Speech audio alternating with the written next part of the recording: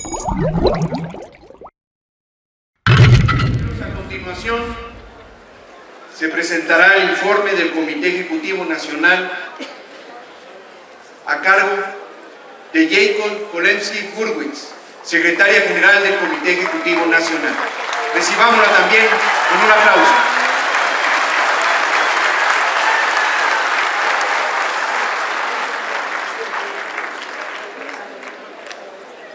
Buenos días a todas y a todos. Este es un día muy especial, un día en el que venimos a rendir informe de nuestro trabajo después de un arduo año muy importante encabezados por nuestro presidente nacional Andrés Manuel López Obrador. Permítanme empezar por compartir con ustedes cómo vamos, porque vamos y vamos muy bien. Morena empezó, como ustedes saben, apenas hace dos años, dos años y un par de meses. Tenemos dos elecciones. En la primera elección llegamos en algunos estados al cuarto lugar, en otros estados al tercer lugar. Y en esta elección pasada, en la mayor parte de los estados llegamos al tercer lugar. Pero déjenme decirles que tenemos tres estados en donde logramos estar en segundo lugar, que se dice fácil, pero que es un gran, pero un gran triunfo. Y voy a decir que aceptamos, y voy a hablar de Veracruz, por supuesto que voy a hablar de Veracruz. Miren, les voy a compartir números ya que me piden de Veracruz. En Veracruz, en la elección de tuvimos el 12.34% de los votos, pero en la elección de gobernador nos reconocen el 26.40%, nada más un crecimiento del 114% de un año al otro. Y les voy a decir otra cosa. Veracruz la ganamos. Ganamos Veracruz. Lo que sucede es que como todo mundo sabe, el PAN y el PRI se pusieron de acuerdo. Entonces, el secretario de Gobernación, de la mano del presidente de la Cámara de Senadores en ese entonces, Gil Suárez, hicieron un conjunto de amarres para pegarle a Morena y de pasada a, a, a Mario Fabio Beltrones. Entonces, para pegarle a los dos. Y el presidente del PAN se fue a dormir tranquilo, creyendo que iba a tener tres triunfos y despierta con siete. No supo ni qué pasó, no se enteró. Claro, seguramente estaba de viaje. Entonces, ganamos Veracruz y nos las robaron. Y nos las robaron como nos han robado otros triunfos, por lo cual nos estamos organizando para no permitirlo más. En Oaxaca también tuvimos un crecimiento muy importante. Muy bien por Oaxaca. En Oaxaca, de la elección de diputados, donde tuvimos el 13.96, pasamos al 23%. Nada más un crecimiento del 63%. Ningún otro partido ha tenido estos crecimientos. Los demás partidos están de bajada, cayendo, todos. Y podría así irles nombrando muchos, muchos, la mayor parte de los estados.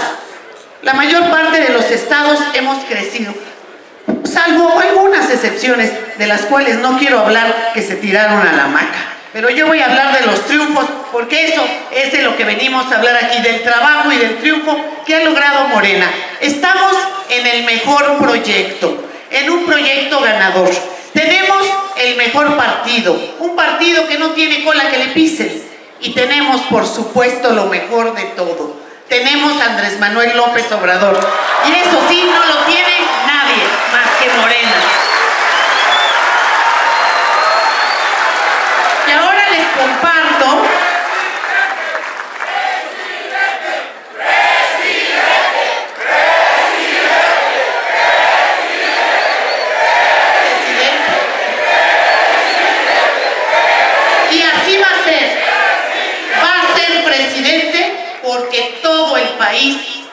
Lo está viendo y decidiendo, no solo los de Morena. Todos se dieron cuenta que esta es la única opción para salvar a México. Les comparto también que las encuestas, que no son de Morena, ni de simpatizantes de Morena, le dan a Morena el segundo lugar de preferencia electoral a nivel nacional. Y solo tenemos dos años. O sea que con lo que vamos a avanzar, vamos para llegar como partido a la preferencia por el primer lugar. Pero cuando estas encuestas también, las que hacen todos en la presidencia de la República, los enemigos, todos, cuando miden a los posibles candidatos a la presidencia de la República, ahí sí tenemos el primer lugar con Andrés Manuel López Obrador.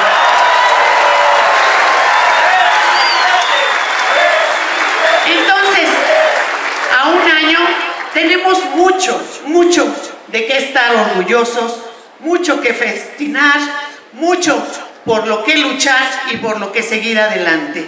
El futuro, como diría, como diría el Che, si el presente es de lucha, el futuro es nuestro. Y este presente es de lucha y el futuro es nuestro. Ahora, como tengo que ser muy objetiva, déjenme también, tengo que contarles que hemos tenido historias penosas, historias vergonzosas de traidores, de vendidos, de gente corrupta, de gente infiltrada, de gente perversa. Pero nosotros no nos vamos a quedar con los brazos cruzados. Tenemos una comisión de honestidad y justicia está trabajando y ahí mi reconocimiento y mi felicitación para la comisión que encabeza Héctor Díaz Polanco.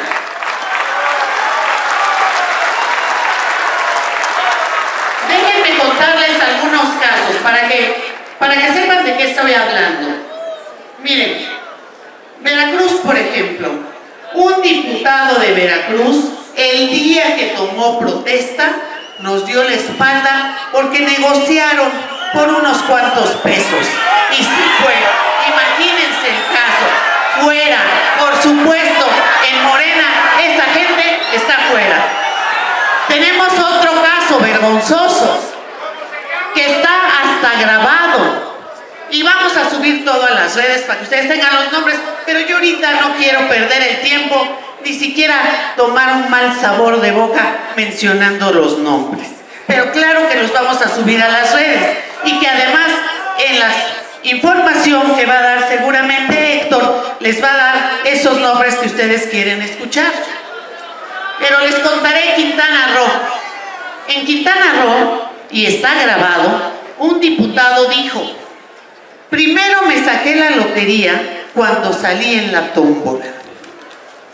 Y la segunda vez que me saqué la lotería fue cuando negocié con el gobernador la comisión que quería tener en el grupo parlamentario.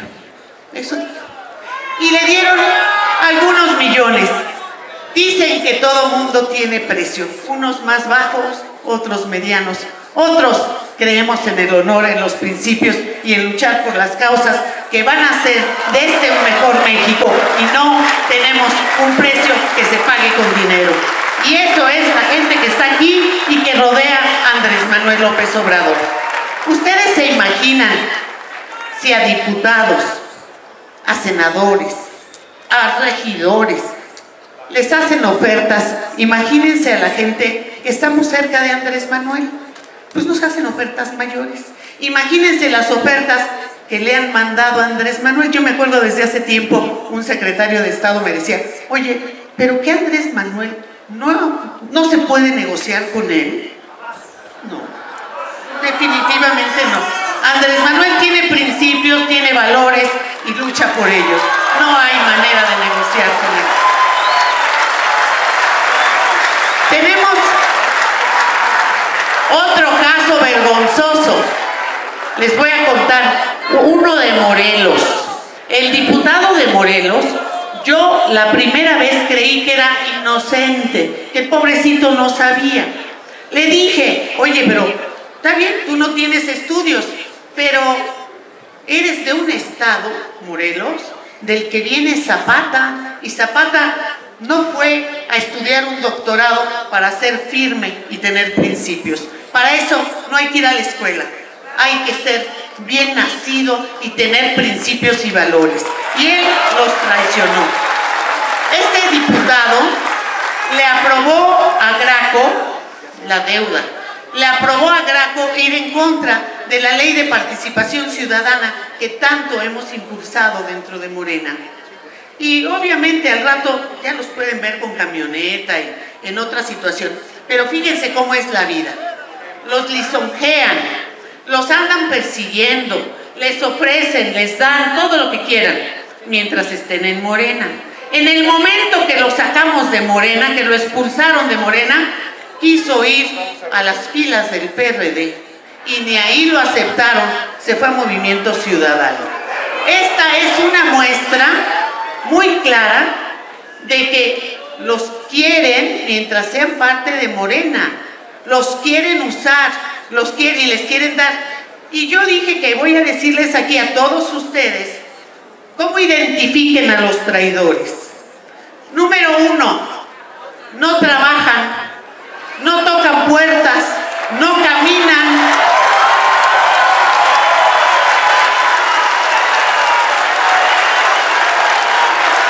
No reparten el periódico Regeneración.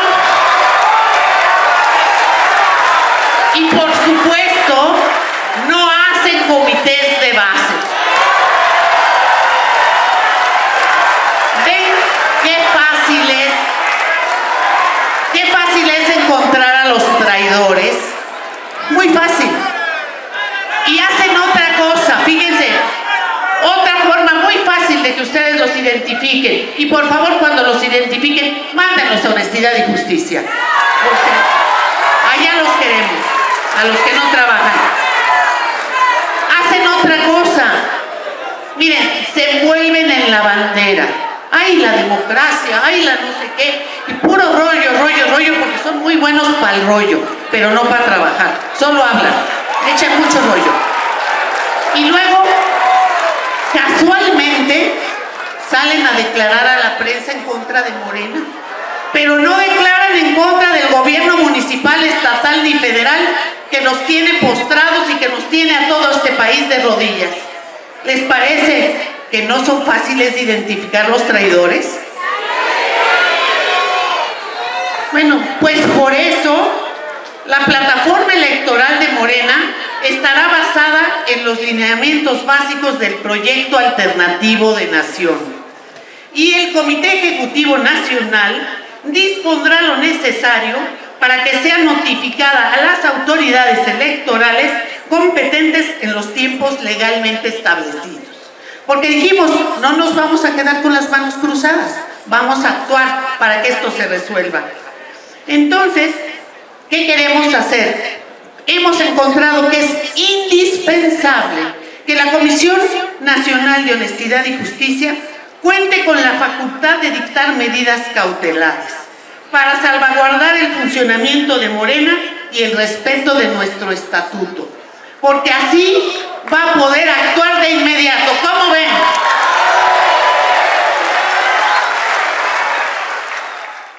Miren, no sería justo si no comentara aquí también el caso del Distrito Federal. Definitivamente en el Distrito Federal hemos ganado dos veces. La anterior, la primera, la del 2015, con el 23.69 de los votos. Y esta segunda, que hubo una bajísima participación y les ganamos a todos, con el 30.40% de los votos. Y en el Distrito Federal vamos por todo, no les vamos a dejar nada. Y algún, en algún momento, porque hoy no es el momento para que les platique cómo vamos, porque de verdad que vamos y vamos bien. Morena va y va muy bien. Que en verdad uno se siente orgulloso porque a donde vamos la gente nos dice, qué bueno que hicieron, qué bueno que sacaron, y la gente está comprometida, la gente está enterada. ¿Qué quiere decir? Que en Morena hay gente recta, hay gente honesta, hay gente buena, que en Morena queremos hacer las cosas bien, que Morena es un partido diferente, que existe Morena y los demás, y no tenemos nada que hacer. Hay una enorme distancia entre Morena y los demás. Y nosotros queremos que así sea. Queremos que Morena sea el ejemplo a seguir para todos. Y por eso también queremos que los que participan en Morena sean gente honesta, recta, de principios, de valores, que se comporten. Y yo siempre les digo que cuando tengan alguna duda de cómo comportarse, piensen en Andrés Manuel.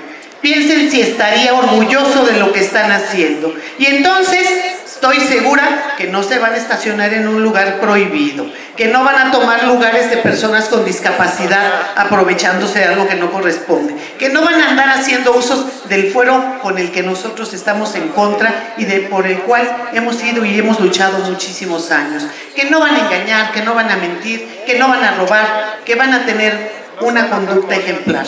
Porque en Morena queremos conductas ejemplares y por eso les comentaba hace un momento que queremos, porque consideramos que es indispensable, que la Comisión Nacional de Honestidad y Justicia cuente con las facultades de dictar medidas cautelares para salvaguardar el funcionamiento de Morena y el respeto de nuestro estatuto. Y cuando hablo del estatuto, les pido a todos que de veras lean nuestro estatuto, porque nuestro estatuto tiene ahí los principios, los valores que nos rigen y porque si lo tienen leído no se van a equivocar.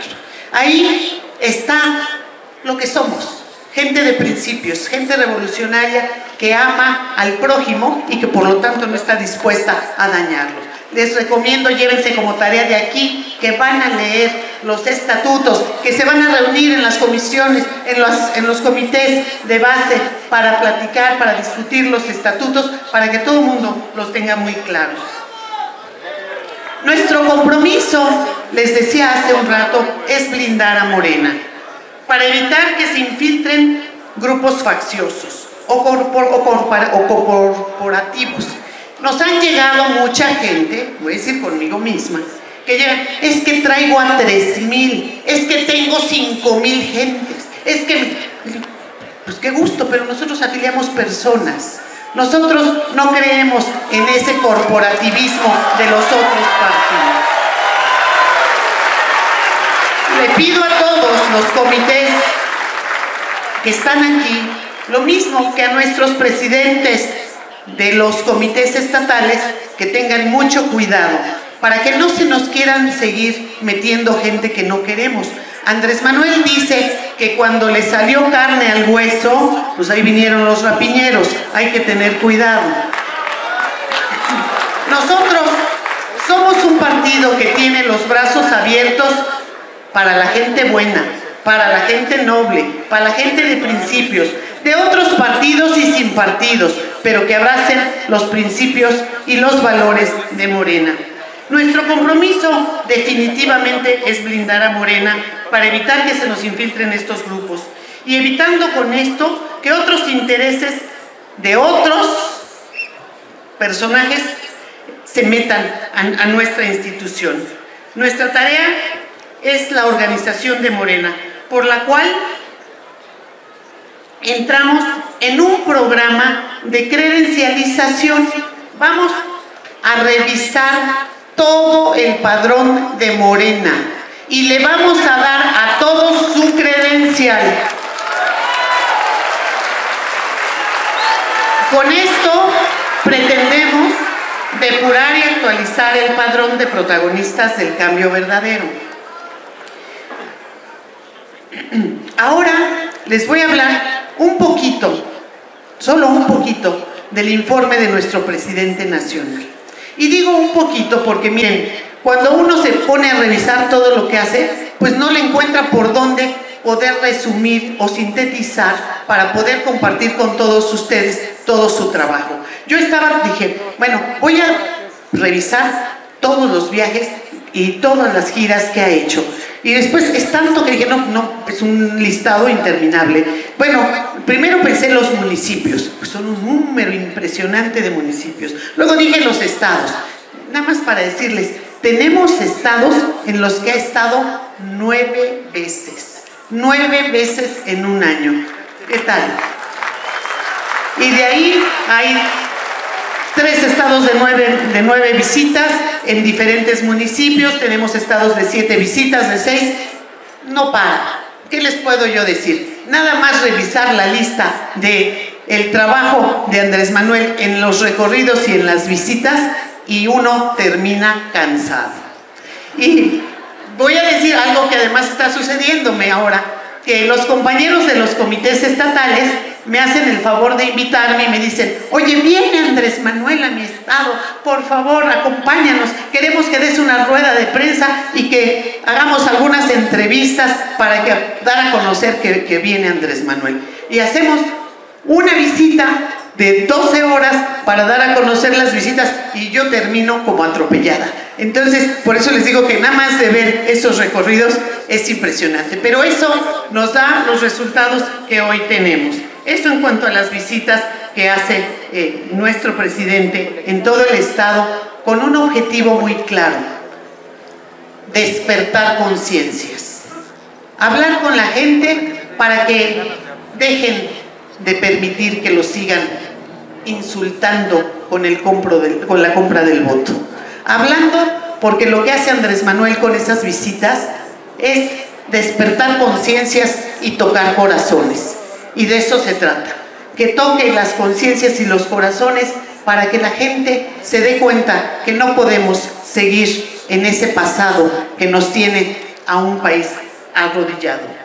En cuanto al programa, al programa, al programa de escuelas y universidades de Morena, ¿qué les puedo decir? Esta es una tarea y un compromiso de, de vida de Andrés Manuel. Como todos ustedes saben, cuando Andrés Manuel López Obrador fue jefe de gobierno, hizo una preparatoria por cada delegación política, hizo una universidad, hizo los programas de las becas para, para los estudiantes, para que no dejaran de estudiar, y hizo todos esos programas por los que primero le dijeron populista, pero hoy lo andan copiando lo de todos los otros partidos, aunque mal hecho, pero habló y hizo uniformes, útiles escolares, becas para los jóvenes, todo eso. Y obviamente en Morena pues no se iba a quedar atrás.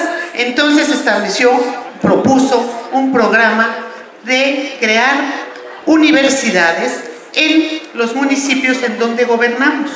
Entonces, aquí permítanme pedirles y ofrecer un reconocimiento porque dentro del compromiso que nos genera Andrés Manuel, él pidió que todas las autoridades electas de Morena, regidores, presidentes municipales, delegados políticos, senadores, diputados locales y federales, nos aporten el 50% de su sueldo para que estas universidades salgan adelante. Y ahí el reconocimiento, Rocío Nale, el reconocimiento a los diputados, a los diputados locales, no veo a César por aquí, pero puro por ahí anda César Cravioto, gracias por todo este trabajo, este compromiso. Que decirles que hay muchos regidores que me han perseguido a mí diciendo a qué cuenta depositamos, porque no se deposita el dinero a Morena, se deposita a las escuelas directamente. Y entonces tenemos a muchos compañeros que nos están buscando para decirnos en dónde depositamos. Y a los que no han depositado, aprovecho para recordarles que esta es una obligación firmada y que hay que depositar para el proyecto de las escuelas.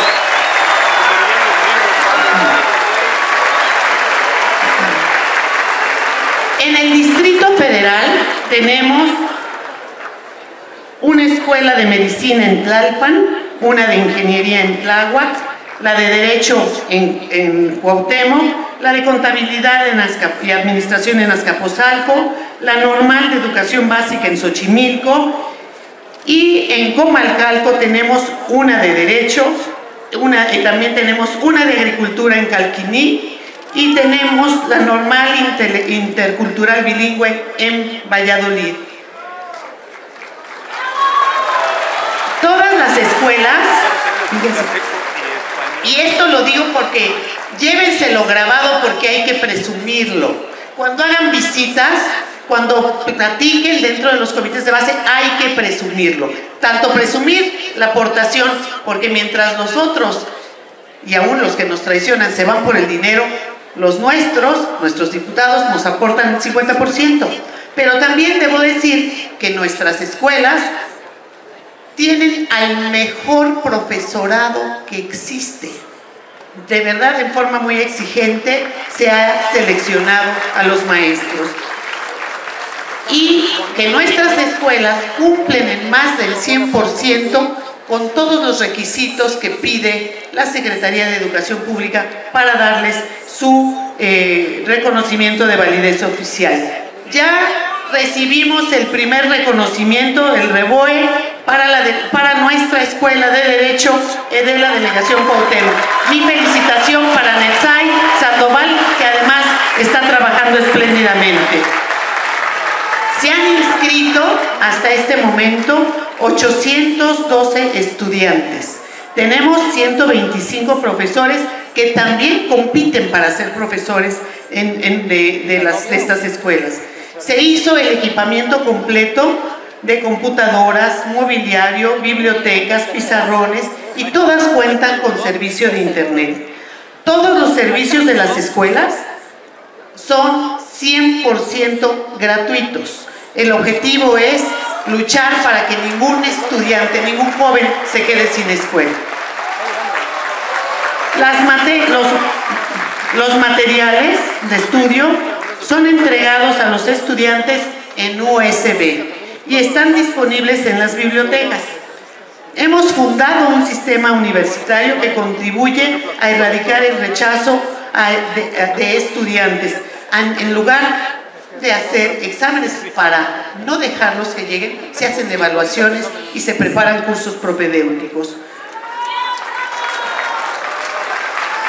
Y estamos listos, la buena noticia es que estamos listos con los extraordinarios resultados que tuvimos en Oaxaca para abrir siete escuelas en Oaxaca. Administración, Administración Agropecuaria en Huautla. Administración Municipal y Políticas Públicas en Jalapa de Díaz. Ingeniería Civil en San Pedro Izcatlán. Agronomía y Agricultura en Sachila. Producción y Expresión Artística en Istepec. Enfermería y Obstetricia en Jalapa del Marqués. Ingeniería de Sistemas en Biodiversidad Tropical en, Tultepec. Y también para el Estado de México, compañera queridísima, obviamente en Texcoco la de Ingeniería Civil.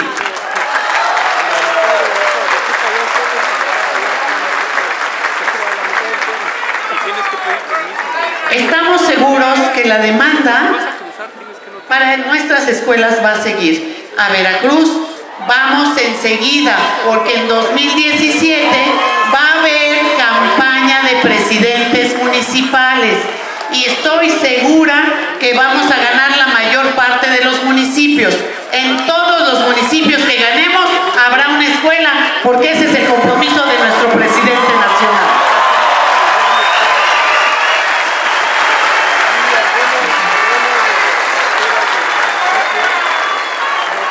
Así que todos los que quieran escuela, pónganse a trabajar para que en las próximas elecciones ganemos. Mi reconocimiento a Raquel Sosa, que no sé dónde anda. Mi reconocimiento a Raquel por su entrega y compromiso y a todos nuestros directores de las escuelas porque definitivamente son los mejores. Andrés Manuel, en una eh, reunión en el, en el hemiciclo Juárez, daba el reconocimiento y el agradecimiento a todos los eh, que participaron y apoyaron en las candidaturas. Y en ese momento estaba una situación dramática. Habían detenido a un maestro sin orden de aprehensión. En una forma, a la medianoche se lo llevaron a una cárcel de alta seguridad en Sonora, en creo que sí era Sonora, y cuando subimos al templete, Andrés Manuel me dijo, ¿cómo está el tema de los maestros? Platicamos ahí dos minutos y después Andrés Manuel dijo, yo no suelo improvisar, pero este es un tema de emergencia nacional. Voy a crear una comisión de enlace para defender a los maestros y defender la educación este, pública. Y esta, es,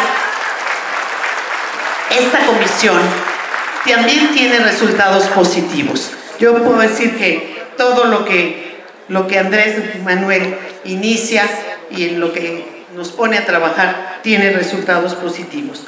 Hay en esta comisión este, se dio apoyo jurídico para la liberación de los maestros presos en Guerrero, Michoacán, y se visitó a los maestros presos políticos en la ciudad de Oaxaca y en Nochistlán.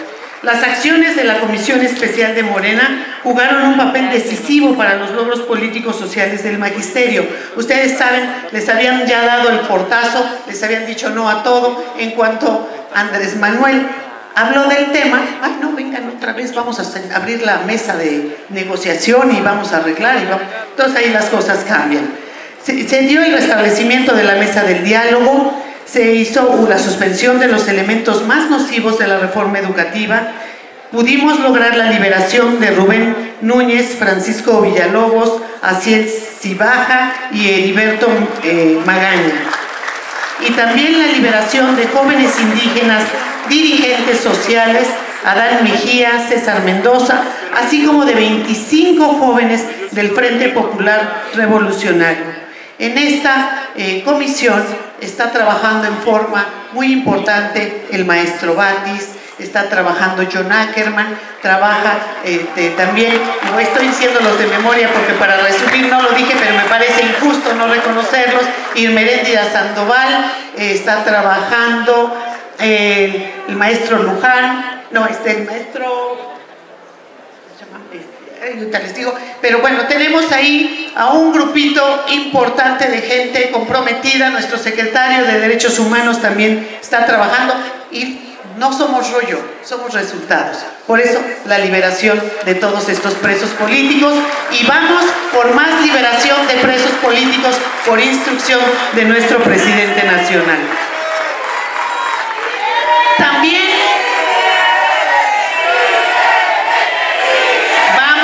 Mireles. Ya nos dio la instrucción, vamos por Mireles.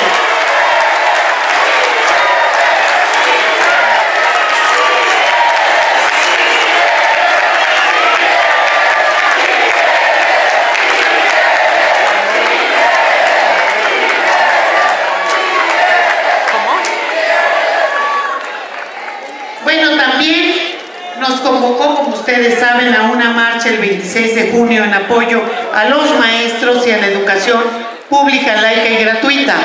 Esa marcha, para la cual no nos prestaron el zócalo y le hicimos en Paseo de la Reforma, pues teníamos una expectativa. Entonces pusieron eh, bocinas para que todo el mundo escuchara pero nuestra expectativa rebasó por mucho, porque la cantidad de gente que vino fue más de 300 mil personas. Así que los que estuvieron atrás nunca pudieron llegar a ni siquiera escuchar el mensaje de Andrés Manuel López Obrador. También planteó una comisión que cuando la planteó estábamos en el consejo y dijo, pues ya tenemos muchos, muchos diputados, locales y federales. Ya tenemos muchos este, regidores, presidentes municipales, pero no tenemos eh, gobernadores. Y es importante trabajar con ellos para explicarles lo que va a pasar, para capacitarlos, para asesorarlos, para explicarles qué es Morena y además cómo tienen que, que legislar. En esa reunión, él planteó que esta comisión estuviera conformada por una senadora, la senadora Marta Palafox, el diputado este, Virgilio Caballero y por su servidora. Y quiero decirles que yo no creí que tendría tanta trascendencia y ahora me doy cuenta lo importante y necesaria que es esta comisión. Hemos ido con ella a los diferentes estados a platicar, a hablar y advertir a los eh, diputados pues de lo que les espera y muchos de ellos nos comparten en cómo se les acercan. Tengo que decirles aquí que las tareas que nuestro presidente hace son muchísimas y el tiempo que yo tengo para hablar de ellas son muy pocas, así que voy a hacer eh, a, comentarles algunas de, los, eh, de, las, tareas de nuestro secretario de Finanzas para que ustedes estén enterados en cómo se manejan los recursos dentro de Morena. Bueno, aquí eh, les diría que el destino de los recursos de Morena del 21 de noviembre del 2015 a la fecha en este, este Congreso se han recibido 357 millones de pesos por prerrogativas, de los cuales se han destinado de la siguiente manera.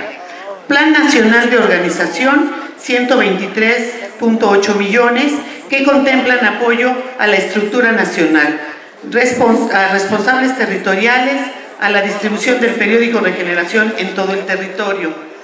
El otro punto ha sido el programa de escuelas universitarias se ha promovido que todas las autoridades electas, que ya se los comenté, pues aporten eh, un 50% de su salario y aquí la cantidad de 24, eh, de aquí, el proyecto educativo, en el caso de los integrantes de la estructura de organización nacional, se ha previsto la cantidad de 24 millones de pesos.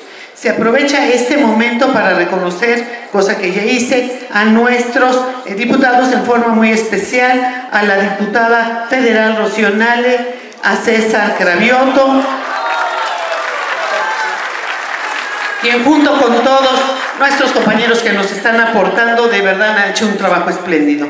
En el proceso de selección interna de candidatos, comprende la organización de asambleas, capacitación y encuestas que se realizan previo a las campañas. En este rubro se invirtieron 10.68 millones de pesos. En el proceso electoral del 2016 se apoyó a candidatos, brigadas para visitas domiciliarias, para publicidad, propaganda, eventos de estructura electoral, tanto del proceso local como de las campañas extraordinarias, y en ellos se invirtieron 64.85 millones de pesos en movilizaciones, asambleas de evaluación, Consejo y Congreso Nacional. Esto comprende el transporte, la logística de diversos eventos. Destaca la gran movilización en apoyo al magisterio del 26 de junio y los gastos del presente Congreso. En estos rubros, a estos rubros se destinaron 16.83 millones de pesos. Las deudas del 2015 Vamos a ver, durante 2016 se liquidaron adeudos del ejercicio anterior por un monto de 42.3 millones de pesos que comprenden el pago de impuestos por 3.2 millones, el pago de proveedores por 17.56 millones y el abono de 21.5 millones a los créditos bancarios. Se pretende que el próximo mes de diciembre quede totalmente liquidado el adeudo del préstamo bancario y cerrar el año sin deudas a proveedores. Asimismo, se cubrieron multas y sanciones por 16.63 millones correspondientes a los procesos de 2015 y 2016 y se gastó el gasto de operaciones ordinarias y suministros de apoyo a los estados comprende nóminas, rentas, servicios, gastos de, liderazgo político de la mujer y préstamos de los comités estatales por 51.32 millones. En total, se han ejercido en dicho periodo la cantidad de 300.50 millones de pesos y al día de hoy se cuenta con un saldo de 6.51 millones de pesos.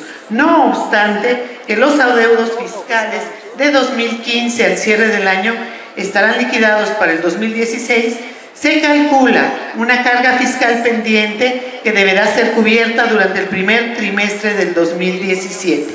Y aquí mi felicitación al secretario de Finanzas de Morena, el ingeniero Esquer, porque de verdad es durísimo, pero es el mejor que podemos tener. Un compromiso y entregado quiero comentarles porque si ustedes se dan cuenta y si ustedes han seguido a Andrés Manuel López Obrador hace tiempo, pues Andrés Manuel es alguien que cree en las mujeres, que las respalda, que las apoya.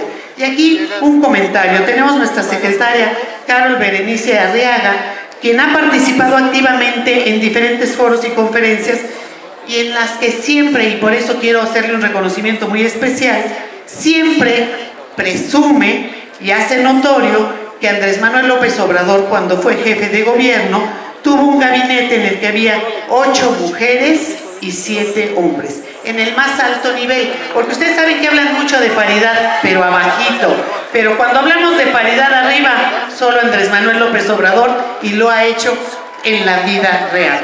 Y tenemos un presidente que cree, confía y apoya a las mujeres y que ha pedido a este Comité Ejecutivo Nacional garantizar la equidad de género, por lo que el CEN debe contar con facultades suficientes para ajustar las listas de candidatos y cumplir con la paridad de género que por ley estamos obligados, pero que sobre todo en forma muy estricta cuida nuestro presidente nacional.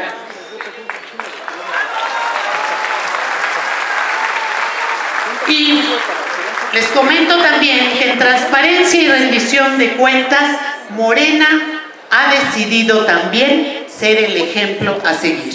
Por lo cual hemos realizado ya cinco cursos que hemos convocado con el INAI para que nuestros presidentes de comités estatales, todos los miembros del CEN, conozcan sus obligaciones con la ley de transparencia y rendición de cuentas y cumplir con todo. Nosotros no vamos en ningún momento a incurrir en las opacidades que incurren los otros eh, partidos y gobiernos. Por ello, Morena hace la diferencia de otros partidos y construye de manera sistemática las medidas de transparencia y rendición de cuentas. El CEN estará encargado de nombrar, ratificar y remover a los miembros de los comités de transparencia estatales y nacionales para poder, cumplir con todo apego a la transparencia y rendición de cuentas y ser como partido los número uno en esta tarea.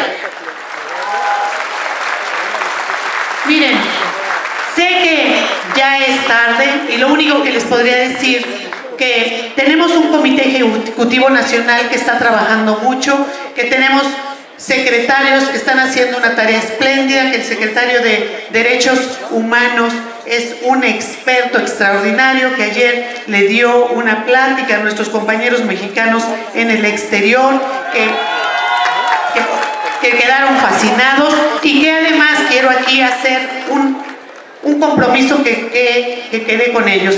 Ayer ellos, los mexicanos en el exterior, me comentaban, bueno, nos comentaban a nuestro secretario Héctor Vasconcelos, que está por ahí porque ya lo vi, bueno, nos comentaban un tema. Decían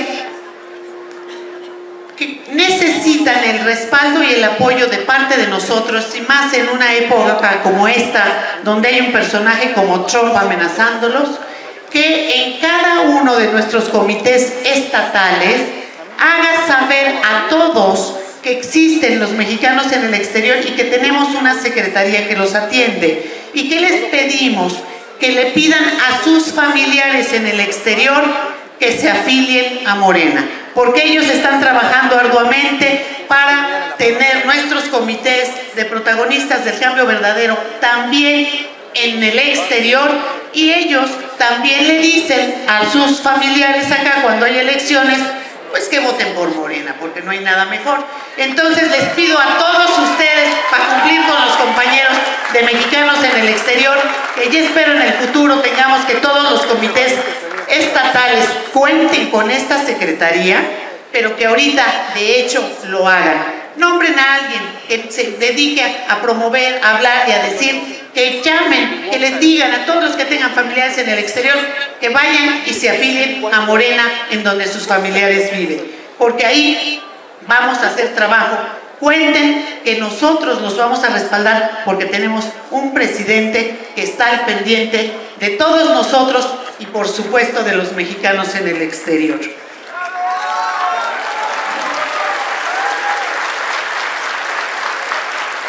Mi reconocimiento a todos y cada uno de los secretarios de Morena. Todos están trabajando en las tareas que les corresponden, pero principalmente están haciendo lo más importante. Están trabajando en construir comités de base. Porque nosotros tenemos una certeza. Y la certeza es que no sirve ningún triunfo ni todo lo que crezcamos si no ganamos la presidencia en el 2018. Y para ganar la presidencia en el 2018 es un hecho que la vamos a ganar, pero para defenderla y para cuidarla necesitamos nuestros comités de base. Hemos, con esto decirles que el secretario de organización que dará aquí un informe está haciendo un trabajo espléndido para poder trabajar en nuestra estructura, como ya les dije, para revisar los, eh, los eh, padrones de Morena, para credencializar. Entonces, piensen, estamos en el mejor proyecto, en el mejor partido, porque es el partido que sí piensa en todos y cada uno de los mexicanos porque es el partido que quiere y puede cambiar a México y porque es el partido que está encabezado por Andrés Manuel López Obrador y porque estamos encabezados con alguien de valores, de principios, de congruencia, todos estamos obligados a trabajar en consecuencia. Mi saludo de verdad, no puedo dejarlo hacer porque vengo del Estado de México, a mi compañera Delfina, que además ella es nuestra representante queridísima y reconocida del Estado de México y no lo veo por ahí, pero si anda por ahí, Guadiana, que levante el sombrero porque por ahí le mando un abrazo y un beso. Y pónganse todos a trabajar porque de verdad que el futuro nos espera. José Martí diría que hacer es la mejor manera de decir. Y yo les pediría eso, trabajemos, hagamos. Las grillas y los rollos, háganos un lado. Eso no nos puede quitar a nosotros el tiempo. Nosotros tenemos que luchar por cambiar al país. Y entonces, termino con un dicho del Che. El Che dice, o decía, el Che decía que o luchamos juntos o nos matan separados. Y muchos me dicen, oye, ya no estamos en esa época de que te maten. Pues si nos ganaran las elecciones es como si nos mataran, porque nos tienen agonizando, agarrados del coyote, del cojote. Entonces, a trabajar todos porque el futuro es nuestro, pero a trabajar en unidad, a trabajar luchando, a trabajar creyendo, construyendo, a trabajar con principios y con valores, siguiendo el ejemplo de un gran presidente de Morena, Andrés Manuel López Obrador. Muchísimas gracias.